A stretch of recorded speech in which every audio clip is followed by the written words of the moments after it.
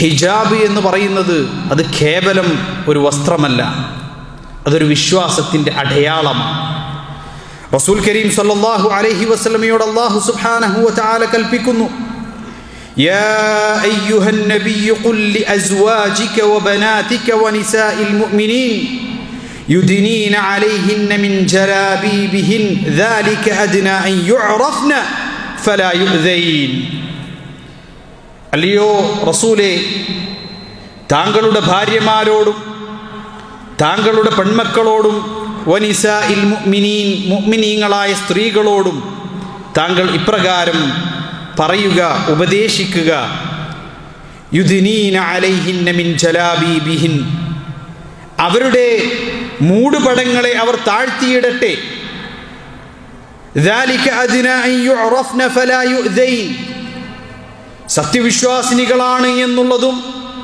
അവരുടെ ഇസ്സത്തും പ്രതാപവും മറ്റുള്ളവർക്ക് അറിയുവാൻ വേണ്ടിയും അവർ മറ്റുള്ളവരാൽ ഉപദ്രവിക്കപ്പെടാതിരിക്കാൻ വേണ്ടിയും അള്ളാഹു സുബാനഹുവ ചാൽ അവർക്കൊരു സുരക്ഷാ കവചമായി ഒരു സംരക്ഷണമായി നൽകിയിരിക്കുന്ന ഇസ്സത്തിന്റെ പ്രതാപത്തിന്റെ വസ്ത്രമാണ് ഹിജാബ് എന്ന് പറയുന്നത്. ഒരു സ്ത്രീ അവളുടെ സ്വയം സുരക്ഷയുടെ വസ്ത്രമായി ഹിജാബിനെ തിരഞ്ഞെടുക്കുന്നതിൽ ചില ആളുകൾക്ക് മനോവിഷമം ഉണ്ടാകുന്നുണ്ട് എങ്കിൽ അവരുടെ ഹൃദയത്തിൽ കൊടിയിരിക്കുന്ന പകയിൽ നിന്ന് ഉണ്ടാകുന്നത് മാത്രമാണ്.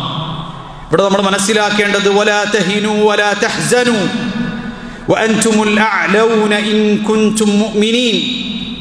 നിങ്ങൾ ദുർബലരാണ് എന്ന് കരുതേണ്ടതില്ല ധരിക്കേണ്ടതില്ല.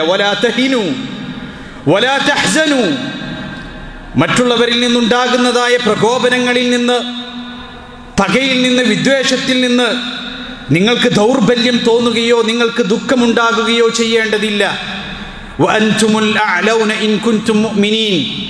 നിങ്ങളുടെ വിശ്വാസത്തെ മുറുകെ പിടിച്ചുകൊണ്ട് ഈമാനോടുകൂടി ജീവിക്കുന്നവരാണ് നിങ്ങളെങ്കിൽ നിങ്ങൾ തന്നെയാണ് ഉന്നതന്മാർ എന്ന് നിങ്ങൾ തിരിച്ചറിഞ്ഞുകൊള്ളുക എന്നുള്ളത് അള്ളാഹു സുബാനഹുവ ചാലയുടെ വാക്കുകളാണ്. അള്ളാഹുവിന്റെ കലാമാണ്.